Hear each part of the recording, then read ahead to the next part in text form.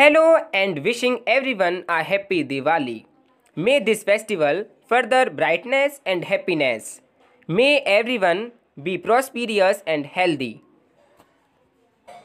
आपको और आपके पूरे परिवार को पढ़ाई विद गुरुचिला की तरफ़ से दिवाली की ढेरों शुभकामनाएँ।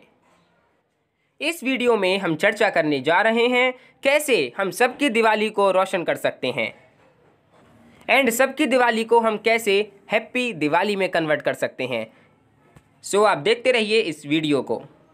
और ट्राई कीजिए कि हम सबकी दिवाली को रोशन बना सकें।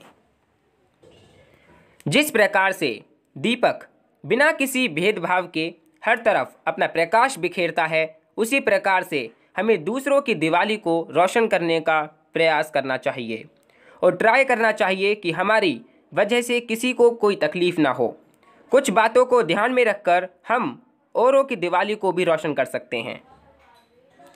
ट्राई करिए कि दिवाली के मौके पर किसी ज़रूरतमंद को मदद कर सकें और उसके चेहरे पर भी एक हल्की सी मुस्कान ला सकें। आपकी थोड़ी सी मदद से उसकी दिवाली आसानी से रोशन हो सकेगी। बच्चों और घर परिवार के अन्य लोगों को समझाएँ कि वे तेज़ आवाज़ में म्यूज़िक सिस्टम व टीवी आदि ना चलाएँ। इससे न केवल ध्वनि प्रदूषण कम होगा, बल्कि आपके आस पड़ोस में रहने वाले छोटे बच्चों और बुज़ुर्गों को किसी प्रकार की असुविधा नहीं होगी। भले ही आपके शहर में पटाखे आदि चलाने से रोक हो, लेकिन ट्राई करें कि कम से कम आतिशबाजी करें। इससे न केवल प्रदूषण कम होगा, बल्कि पैसों की भी बचत होगी। ये भी ध्यान रखें कि आपके किसी बिहेवियर की वजह से किसी का दिल ना दुखने पाए।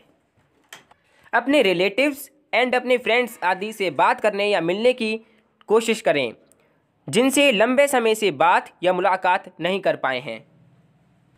माता लक्ष्मी के स्वागत के लिए मिट्टी के पारंपरिक दियों का इस्तेमाल करें। इससे औरों की दिवाली रोशन हो सकेगी। सो so, इस तरह आप करिए सबकी दिवाली को रोशन और कहिए सभी को happy Diwali.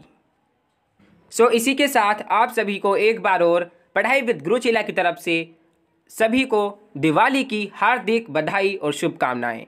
Stay home stay safe stay indoors just enjoy your special day special festival happy Diwali